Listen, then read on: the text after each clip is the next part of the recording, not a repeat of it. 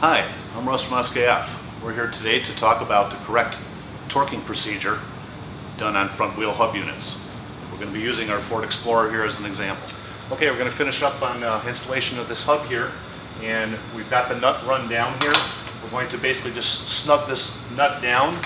The final critical torquing of this nut will come in play um, when we have the vehicle down on the ground and that final torque is very critical to the longevity and performance of this hub setting the preload. Okay, one of our final steps here is going to be the final torque on our axle nut into the hub unit. Um, and the other step, of course, is going to be torquing down our lug nuts. We have this set to 184 foot-pounds, which is the torque specification for this uh, 02 Ford Explorer.